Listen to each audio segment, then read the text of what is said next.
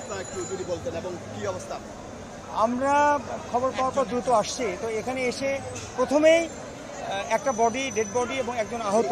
তো এটা আমরা উদ্ধার করেছি। আর এই আপনার মাত্র মাত্র যেটা দেখলেন যে আরেক- আরেকটা ডেড বডি কিন্তু আমরা ওই যে সামিটের যে হেভি যে ইকুইপমেন্ট সেটার মাধ্যমে কিন্তু আরেকটা বডি আমরা উদ্ধার করতে সক্ষম হয়েছি। তো আপাতত এই দুজনই দুই- দুই- দুই- দুইটা দুইটা বডি আছে ডেড বডি এবং একজন আহত। একজন আহত আছে। এবং এবং আমরা আহত এবং ডেড বডি যেগুলো আছে সেগুলো ইতিমধ্যে আমরা চট্টগ্রাম মেডিকেলে পাঠিয়েছি। আপনাদের কয়জন আসছে? কয়টা গাড়ি এখানে এখন আমাদের প্রায় আমাদের চারটা ইউনিট কাজ করছে। তো এখানে শুধু ফায়ার সার্ভিস না, এখানে আপনি দেখছেন যে স্থানীয় মানুষের সহযোগিতা, তারপরে এখানে নৌবাহিনীর সদস্যবৃন্দ আছেন, তারপরে পুলিশ, পুলিশের সদস্যরা রয়েছেন সামিট থেকে যে হেভি ইকুইপমেন্ট এই তো সবাই ভলেন্টিয়ার আছে, সবাই মিলে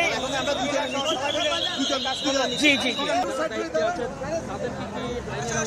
এটা আসলে আমরা তদন্ত করে যদি তারা দোষী সাব্যস্ত হয় বা এই ব্যাপারে যদি তাদের কোনো গাফিলতি থাকে, তাহলে তাদের বিরুদ্ধে আইনগত ব্যবস্থা গ্রহণ করা হবে।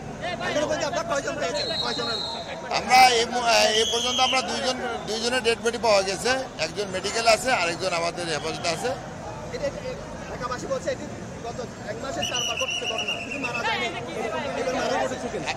আমি আমার জানার মধ্যে এরকম কোনো সংবাদ আমরা পাই নাই। অনেক সময় তো রাস্তাঘাটে অ্যাক্সিডেন্ট হয়। তো এটা যেহেতু আমাদের এখন আমাদের নলেজ আসছে এটার ব্যাপারে তো আমরা পরবর্তী ব্যবস্থা গ্রহণ করব।